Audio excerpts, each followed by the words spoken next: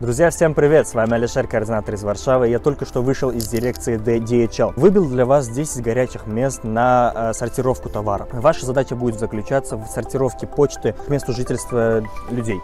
То есть вы берете, получается, почту и перекладываете уже в грузовики, в нужные грузовики. Вам будет предоставлено специальное, специальное оборудование, то есть это будет телефончик, с которого вы будете знать, куда будет ваша почта отправляться. Плюс вам будет предоставлена специальная машина, э, с которой вы будете э, перекладывать тяжелые товары в уже грузовики. Заработная плата в DHL это 1200 евро, э, от 1200 евро и зависит от ваших переработок. Например, если вы работаете 8 часов в день, то вы будете получать 1200 евро в месяц. А если вы будете перерабатывать, то есть от 10 до 12 часов в день, то, конечно же, вы будете получать большие бонусы от DHL. DHL, кроме этого, предоставляет жилье для своих работников. Это, получается, хостелы, специальное жилье для пар.